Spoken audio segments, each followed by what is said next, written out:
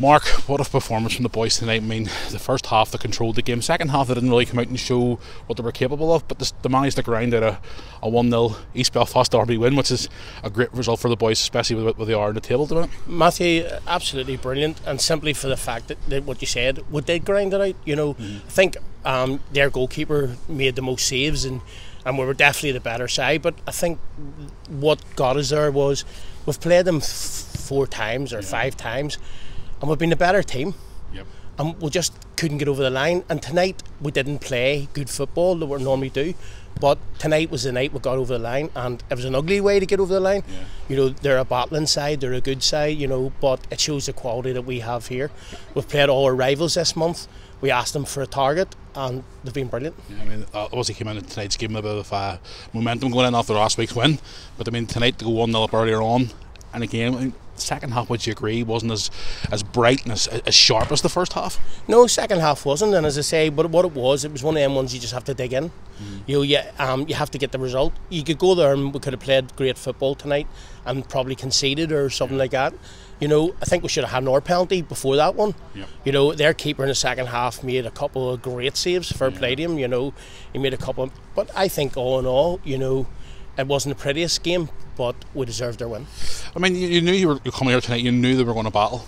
Obviously, we talked about it before the game. You know, you knew they were going to come here. You thought maybe a couple more first timers would have been in the game tonight. But I mean, to grind that type of performance against that type of team, obviously up, up our backsides basically at, on the league table. I mean, you couldn't ask for any more. I'm sure the boys are exhausted. I'm seeing a few of them going off with a couple of knocks as well. But I'm sure they're uh, they're bouncing in there. Yeah, no, they, they are. And obviously, we lost Bradley before the game, and we lost Mason during the game, and. Um, the likes of wee Jamie, we thought we had him back, and and unfortunately we didn't have him back this week. But you know, no, the, the boys were super. As I say, 10 points this month out of 12, and we've played our rivals, so I'm absolutely delighted. Yeah, we've got another one coming up on Saturday at home as well. Again, every game's, you know, a different game and a, another tough game. The only good thing is it's a home game this week, you know, and we boys love playing at home, you know, we love that pitch, we love playing football, and of course, you're going in on the back of a derby win, so you should be buzzing. You know, there's nothing like beating your rivals, you know, so you should be absolutely buzzing. Well, the thing is, Mark, I mean, we're sitting currently in a position where we've got games in hand. We're obviously sitting second. I mean, it's a great position to be in at the moment.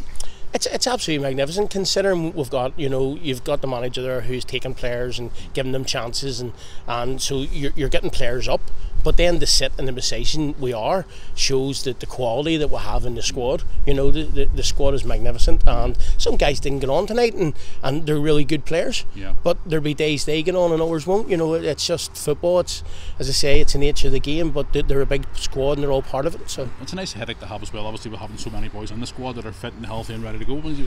I'm sure it's a, a headache for you, but it's a good headache to have. It's a nightmare. some some nights you, you're you're going through teams in your head four or five times, and you're, you're thinking of this one's played a lot of minutes and yeah. is it time for a rest? And then but it's another big game and you're thinking oh maybe I should just leave it at the minute the way it's mm. going. So yeah it is a headache but it's, it's obviously a, a really good headache. Well big smiles obviously from tonight's win. Obviously enjoy the rest of the win. Go back into the boys there and hopefully yeah. they'll, they'll, enjoy it tonight. Can't wait. Absolutely delighted and go in there and everybody's buzzing and yeah. that's what can you ask for